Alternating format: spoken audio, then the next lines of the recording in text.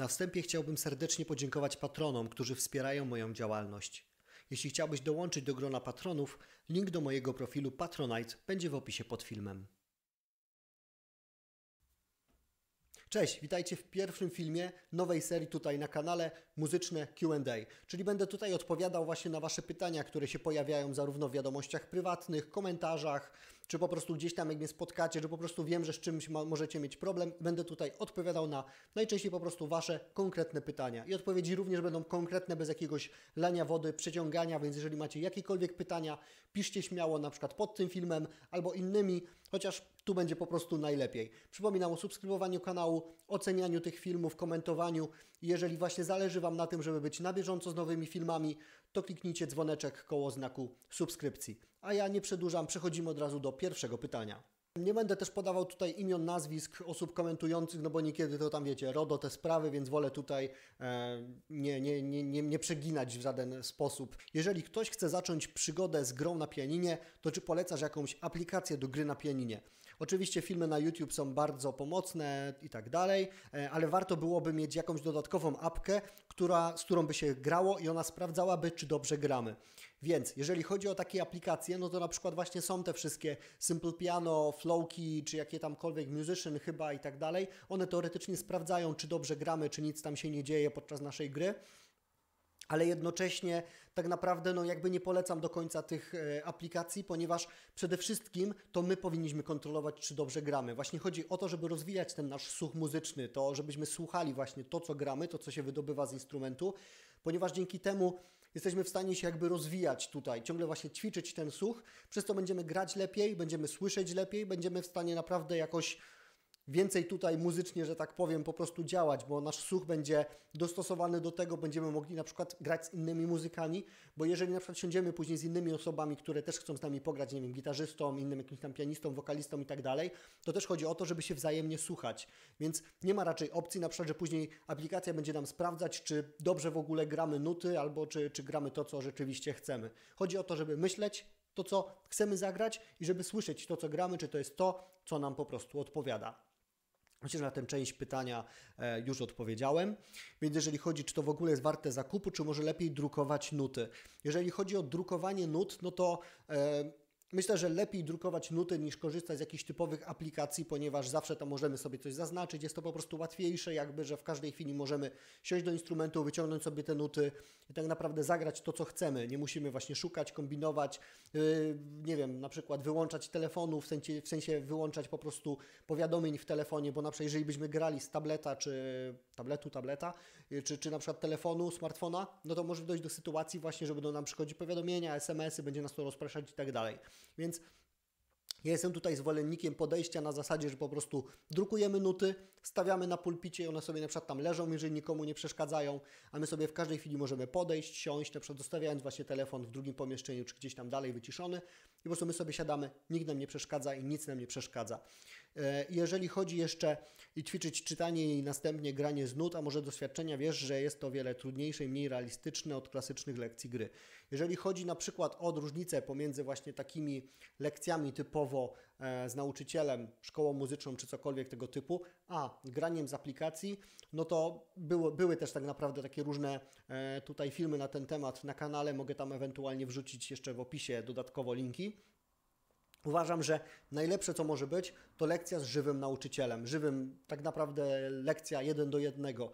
Ewentualnie lekcja na przykład jeszcze online, ponieważ jakoś tam jeszcze jest w stanie nasz nauczyciel po prostu sprawdzać na bieżąco, czy wszystko jest w miarę w porządku, czy ręka jest dobrze ułożona, aczkolwiek to nie jest to samo, co żywy nauczyciel na miejscu tak naprawdę, więc na pewno aplikacja jest znacznie gorsza, i nie polecam korzystania z aplikacji. Jeżeli miałbym do wyboru aplikację, a nauczyciela, zdecydowanie polecam nauczyciela, ponieważ znacznie lepiej, znacznie szybciej, znacznie więcej można się nauczyć. Poza tym nauczyciel dostosuje plan nauki do, konkretnie do Was, tak naprawdę, konkretnie do Ciebie, a nie na przykład właśnie tak jak aplikacja, że ma zaprogramowany taki tryb i musisz się uczyć tego, co aplikacja Ci tak naprawdę rzuci tutaj e, do grania. Więc tak to wygląda.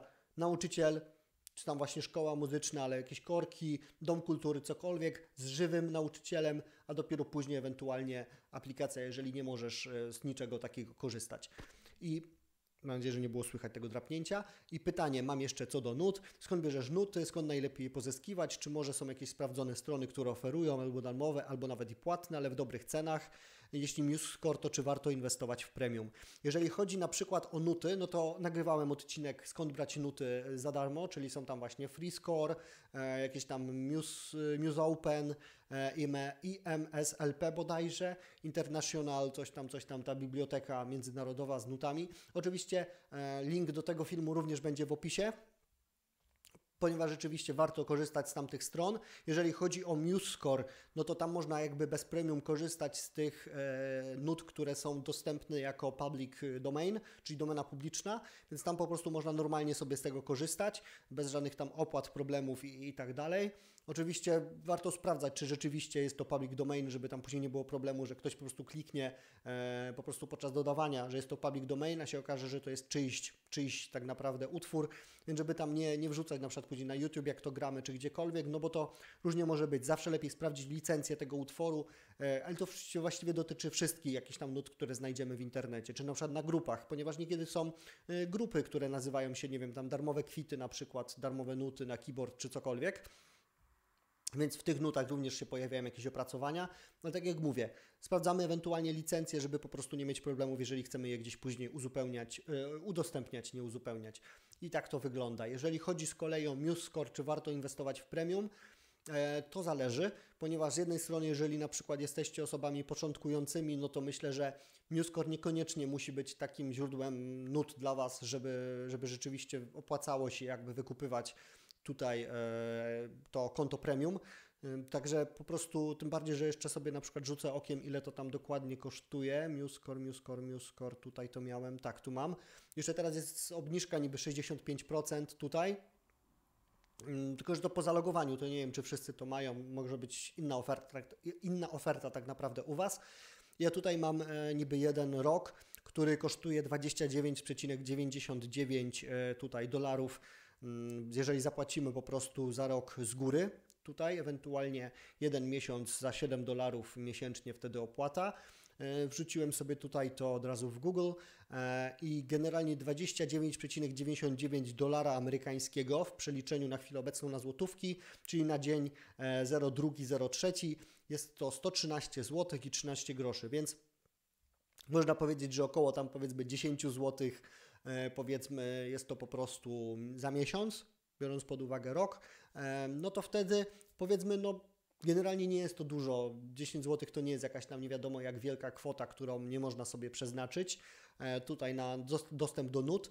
Aczkolwiek, tak jak mówię, jeżeli nie zależy Wam na tych oryginalnych tutaj tak naprawdę utworach, które tam robią właśnie osoby, które należą do MuseScore tej po prostu społeczności MuseScore, czyli tam tych kompozytorów, no to jeżeli Wam na tym nie zależy, to niekoniecznie warto tak naprawdę na tym kup y, tutaj kupować tego konta premium. Tym bardziej, że tak naprawdę konto premium jest przede wszystkim dla osób, które właśnie wrzucają tam swoje nuty, obrabiają w jakiś sposób, e, udostępnić chcą więcej niż na przykład 5 partytur bodajże, bo chyba tak jest w tym e, tutaj w tej części darmowej jakby, że można tylko i wyłącznie chyba 5 partytur udostępnić e, za darmo, a później właśnie wymagane jest to konto premium. Więc jeżeli nie zależy Wam na tym, żeby wrzucać, żeby tam zmieniać instrumenty, bo tam chyba właśnie jeszcze coś takiego było, że nie ma reklam i tak dalej, no to generalnie, jeżeli Wam na tym nie zależy, no to nie warto tak naprawdę inwestować w premium, moim zdaniem oczywiście, a jeżeli chcecie wrzucać swoje nuty, chcecie gdzieś tam coś e, dalej udostępniać, czy właśnie przerabiać sobie jakieś podkłady tutaj, no to wtedy jak najbardziej warto.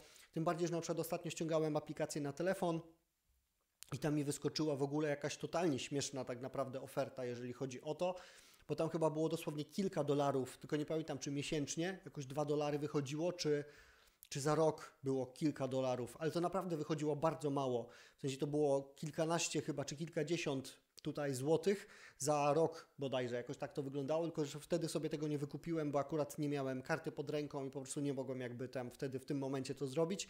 A to była taka oferta na już na teraz, czyli takie po prostu tutaj podejście marketingowe, żeby nie tracić po prostu czasu, tylko od razu się tutaj na to rzucać. Więc wtedy pamiętam, że nie wykupiłem, ale może warto ściągnąć sobie właśnie aplikację MuseScore na telefon, tam założyć konto albo się zalogować. Może akurat wyskoczy Wam wtedy taka oferta, więc wtedy myślę, że warto się tam zastanowić nad taką opcją.